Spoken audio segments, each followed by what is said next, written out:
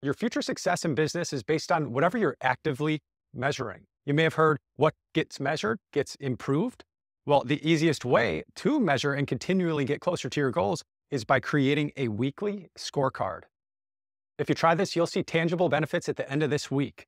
You've heard how goals are good, but it's really the process or the systems. Eh, that's where the magic happens. You know, this was brought to light or at least made uh, very popular by James Clear book, Atomic Habits. This is because if we have an outcome goal like get five new clients this quarter, well, we don't really have control over that goal. But what we do have control over is the actions that lead to those intro calls. So if we said something like, let's pretend content marketing is the way that we're attracting new people. So the input or the system or the process goals are write two social media posts per week about my ideal client's biggest pain points or problems. That's a process goal that we've got more control over that can lead to more interest and then to more intro calls. Or it could be perform the no ask referral system for an existing client each week. The best part about this is that you never have to wonder if you're spending time on the right activities. It's it also just gamifies success. I've been doing this the last four years or, or more, and it's really, it, the, the tangible benefits are, are clear. So let me show you an example of a weekly scorecard.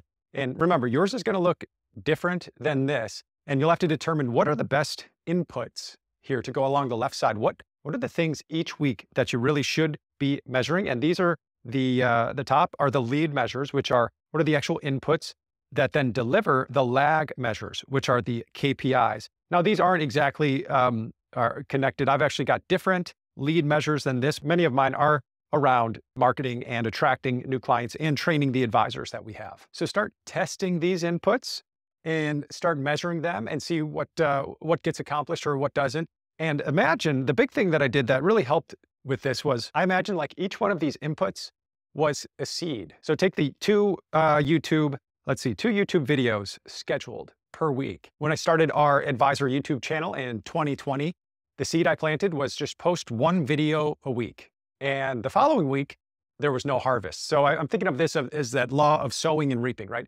Planted a seed, no harvest the next week. The next month, there was no harvest. The next 10 months, there was no harvest. But the thing that kept me going was just that, that law of, of sowing and reaping. I don't control the harvest. I don't control the outcome, but I do control when I sow or I plant or the input that I give. And I do control what I try and what I test and how I could get better at that input. So for 10 months, the results was nothing. We went from zero subscribers to a grand whopping 70 subscribers. That's about uh, one subscriber every two weeks, which sounds pretty bad, and it is. But I just focused on the planting of the seed and then improving that skill of input. And then in month 11, we started to see the harvest.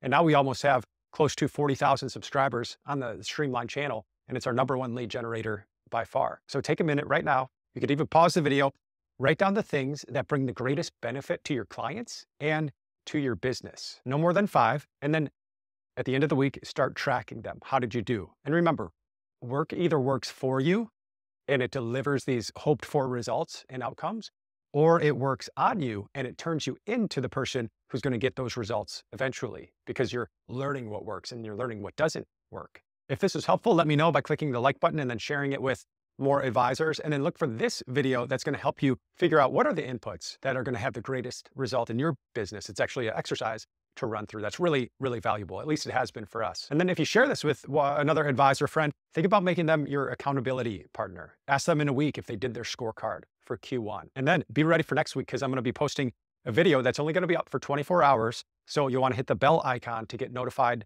from YouTube. I'll actually be doing these 24 uh, hour uh, videos periodically because there are some things that we're doing in our advisory practice that may involve a, a scenario or a, a client example. Now, I'm not using real names or things, but I'm just not comfortable keeping them up on, on YouTube forever. So look for that next week. I'll see you there.